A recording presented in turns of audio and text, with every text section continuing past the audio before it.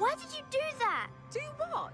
If you just listen to me. Mum, this only happened because you grabbed me. How dare you blame this on me? This happened because you were using some magic portal to sneak out of the house. And you went and messed everything up.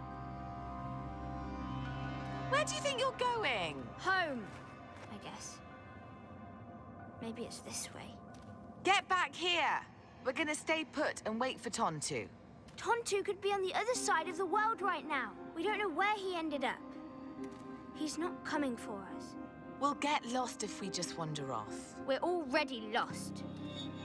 Ugh.